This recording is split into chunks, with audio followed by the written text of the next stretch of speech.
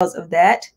Christina has traveled internationally across the United States as well as Europe, playing the marimba.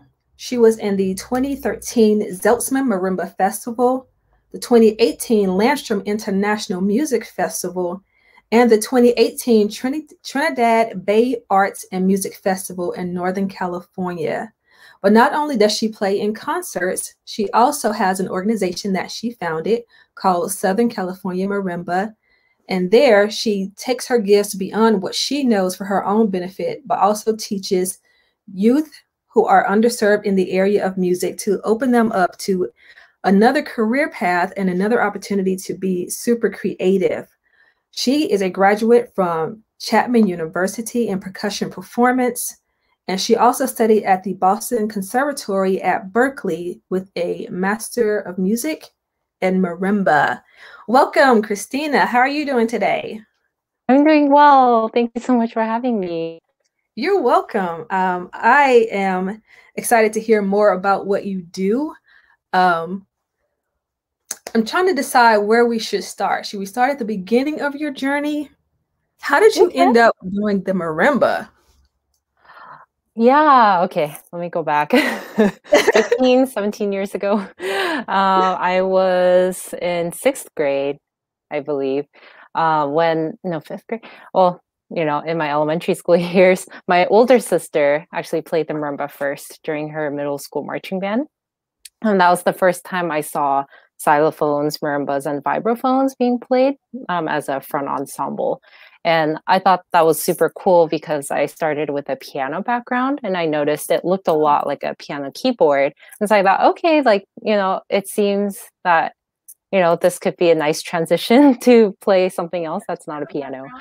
And so I transferred over to marimba. I stopped piano lessons and I just had so much fun and I kept going ever since.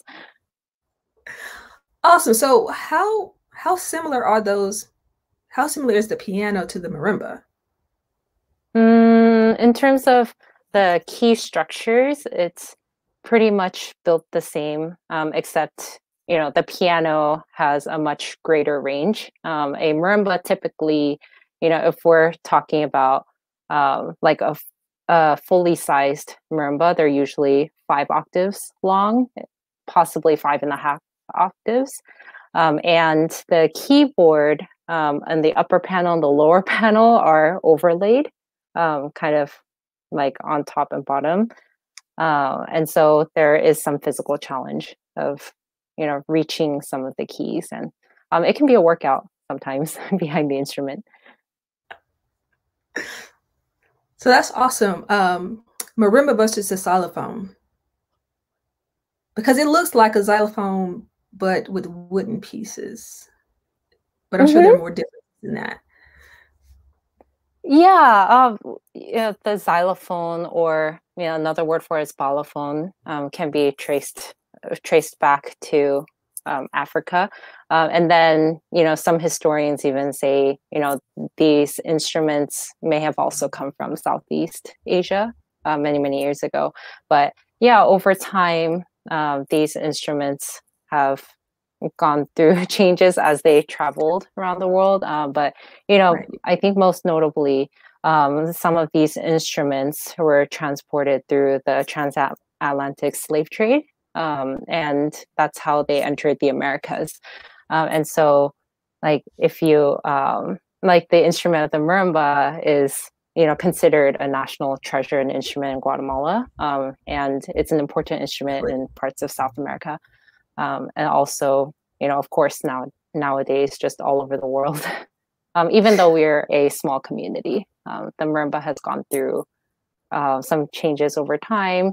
Um, and you know we could even say it's gone through kind of a western classical transformation um, and adopted some um, of like the western the western traditions of music and and that developed into what you know uh, what I the instrument that I typically play on, the five octave marimba.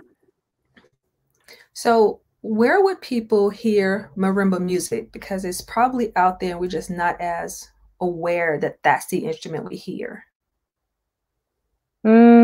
depends on which country or continent we're talking about, but I guess uh, I guess if we talk more about the U.S., um, you know, a lot of like these merm. I know for myself and for a lot of students, we first encountered this instrument through like possibly you know our public school programs, um, and mm-hmm. like in the front ensemble of a marching band. Um, that's kind of I know that was my first encounter um, with the marimba, and then um, you know it's um, it has a very atypical history compared to I think other like Western classical instruments, uh, and so we have you know we have quite a bit of like performer composers, you know people who uh, play on the marimba and then they'll compose tunes um, and pieces, okay. and so um, we have a lot of uh, contemporary composers. Um, we sometimes also do arrangements uh, of you know pieces that were originally for other instruments like piano or cello, um, and then we would adapt those on the marimba and play them because we don't really have uh, that, I guess, Western classical history uh, like maybe right. you know a piano um, or a cello might. Um, but I'm mostly just talking about, you know, in the U.S. In the U.S. in the current days, yeah. But of course, like in different cultures of different parts of the world, um, the marimba mean could mean um, a lot of different things. So let me ask you this, and this one is a, a more general question.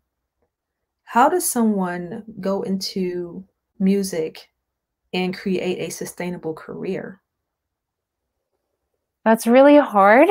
um, and it really depends on the person. Um, I think more traditionally, if you decide to be a percussion major, then um, yeah, typically you learn to play many different kinds of instruments. Um, it makes you a versatile musician and performer. And, you know, some people will go the orchestral route of maybe going to a conservatory, taking lessons, and auditioning um, into an orchestra. Um, and you know they're very very uh, competitive. Uh, another route is education, teaching. So maybe you know, I want to be a band director, um, or I want to teach at the university level. I want to go into academics. Um, that's another career path that people go towards. Um, and then you know another path is the freelance route um, and that is really only limited by your creativity and imagination. But um, basically you know as um, a sole proprietor kind of you are your own business and it can be a combination of performing in gigs um, here and there mm-hmm. or teaching lessons master classes and just a combination of um, other creative pursuits Awesome. So there's a lot more diversity than some people may have even thought about. Um, and I know you mentioned some performing, and we're kind of in a, a state where the world is not open to concerts right now. So, mm-hmm. how did you consider to maintain with your organization, or even with your own um, your own performances in this context? Mm, inevitably everything is now online. And so i know for southern california marimba the nonprofit that i'm part of we you know we we usually plan about a year or two in advance and so of course mm-hmm. when covid hit no one was expecting that and so we kind of had to pause um, all of the live events that we were going to have and reconsider okay what are we going to do now? Are we going to take a break for a year or however long this is going to go on? And then we thought okay like we're just going to transfer everything online. Um, it seems like that's the way to go. And so uh, i believe our first yeah, our online concert was last year, um, and we called it Resonating Voices, and we had it back in October. Um, and I know leading up to that concert, there were lots of modifications and changes uh, because it was our first time trying to do a concert online. Right. Um, so there were a lot of trial and errors, and you know, when is this going to happen? Who's going to be a part of it? And, um, and so that was a really interesting challenge. But I'm glad that we were able to go through that. Um, and the benefit actually of having that online concert was we were able to collaborate with people from you know different parts of the world and not just locally. Um, right. And so that concert specifically, we wanted to highlight and celebrate uh, Black composers um, and also people of color. Um, and so what we said was, you know, we're going to ask, um, we're going to ask marimba performers, you know, if they want to join our concert, and we'll ask them, you know, could you perform um, a piece that you know uh, by specifically a Black composer um, whose music that you really, you know, enjoy and want to play, um, and then we sent those invitations um, to, I think there were five people total in that concert, um, and I know like they came from everywhere, like other states in the U.S. And my friend from Germany um, sent in her performance oh, wow. video, and um, and so it was just a big collaborative um, effort. And you know, and because it's online, anybody can watch it, and they can also watch it later. And so that that was also a huge plus. And it was, it was a very special event. That, it sounds really special, and I think that um, I've said this to a couple of other people who's who I've had the opportunity to have these conversations with is that COVID helped, I guess, flatten the world. You know, we were hmm. already able to connect more, but I don't think that people were, taking as much of an advantage of it. You know, mm-hmm. I think we still kind of felt a little physically bound, even though technology was already available. And we just had to be a lot more creative over the past year of how we would actually connect. And that has really opened us up to things like that where you could have people collaborating to do one event together even though they're spread out across the world. And that's yes. really amazing. Yes. And i think finally we're uh, you know just the whole world we're getting used to being more like interacting online. Um, and i think you know like we had that even before covid but because we were all forced to use it more. Um, i think even as you know restrictions are lifted and everyone's getting their vaccines and you know like maybe we'll go back uh, to some things um, mm-hmm. pre-covid but i also think you know maybe we'll have some kind of hybrid future of online so, and in person I mean, so even like moments like this, why would we go back to not being able to talk to each other and not being able to share, you know, some a wonderful work that an artist does with people who may be unfamiliar with that person. Why would mm-hmm. you even want to go back to that? I think we've had we've tapped into an opportunity for more richness. Mm-hmm. So um, I agree. I am going to share one of your pieces for those who may still be sitting there going, "What is a marimba?" Or I really want to hear her. Christina has shared some of her work with me that I am going to share with you. So enjoy. Do you want to set this up? Do we need to set this up? How do we? No, I mean, like, is there anything you want to say about it before I play it? Oh, um, I can. This uh, this piece is called "Back in Business" by Keegan Fountain, um, and yeah, I, I got to, I guess, meet him virtually. we never met in person, uh, but he was actually one of our featured composers um, in our Resonating Voices concert, and uh, and then I kind of like looked through his music, and I really liked his works, and I was like, oh, I I really want to play one of your pieces, and um, so this piece came to mind. Awesome. Yeah.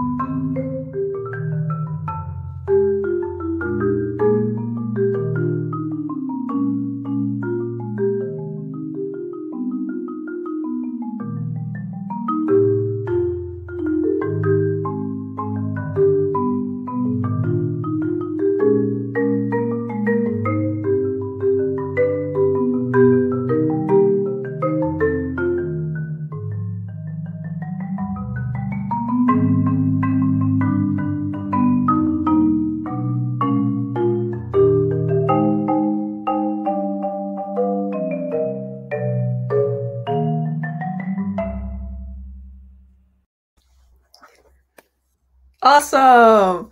I've listened to that so many times. the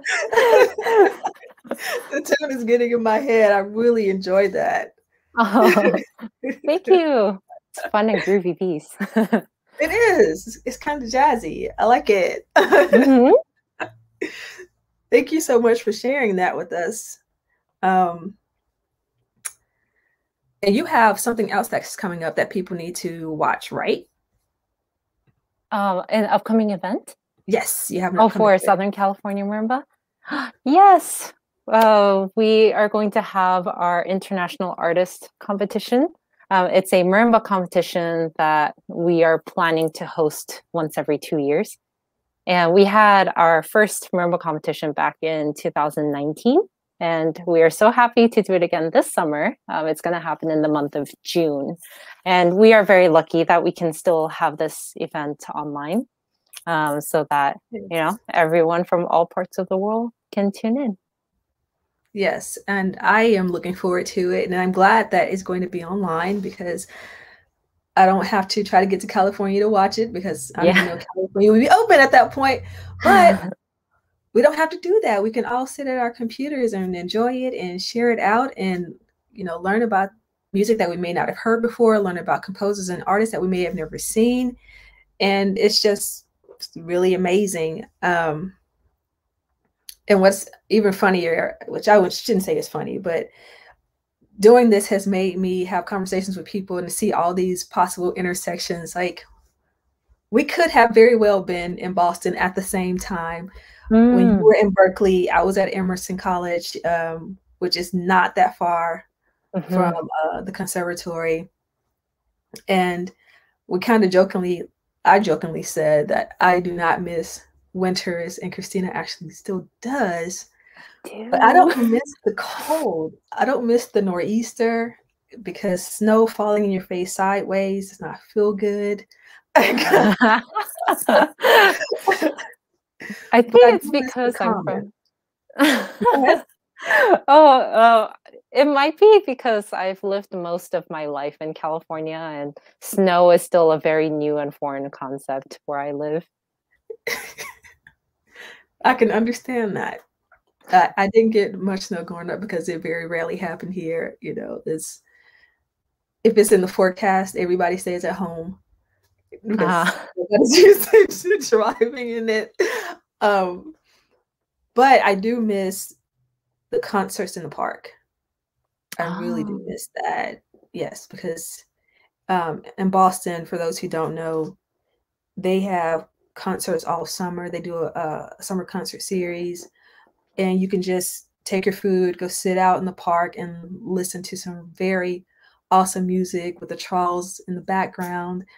Um, and it's very picturesque, but it's just a, a wonderful community offering. And it's a nice gathering place, and you get a, a, chance to hear music that you might not normally hear. You know, Boston Pops come out. It's just a wonderful mm. experience and music is so vastly important to just the tapestry of our culture and i don't think that we're always even aware of the role that it plays in you know in our emotions we hear it in our films and television and i don't think that we even realize it because it's not always at the forefront but even for those of us who just simply get in in the car we're listening to the radio you know there's music on our phones and we're surrounded by it all the time, even if we're just standing in an elevator.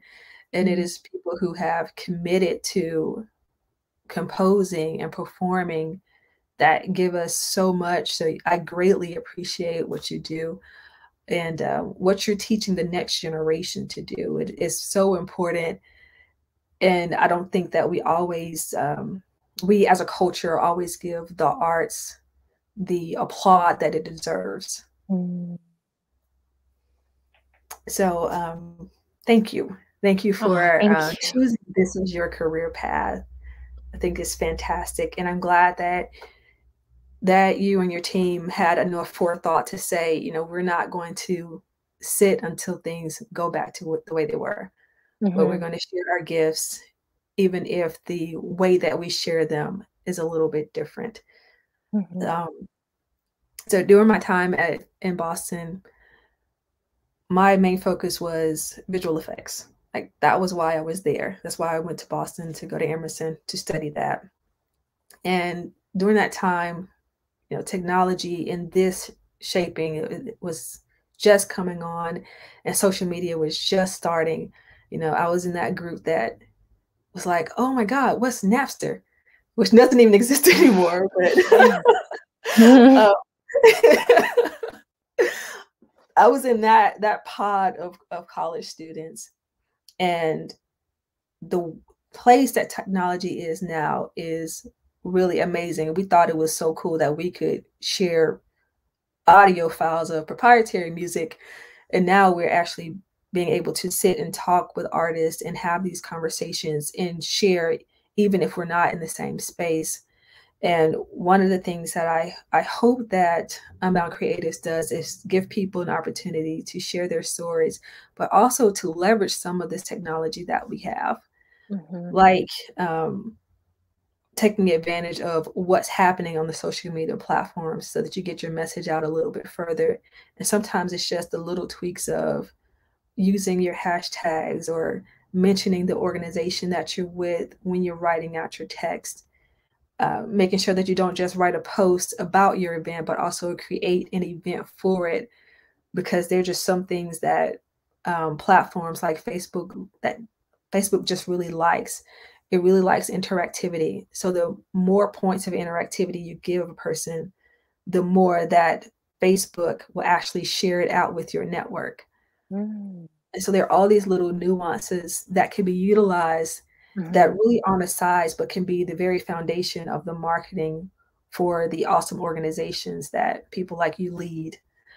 And so if there's any way that I can help you in that area, feel free to ask me any questions. if I know it, I will answer it. If I don't, um, I'm kind of um, I'm one of those people who loves to learn. I will find the answer because it's going to bother me until I oh.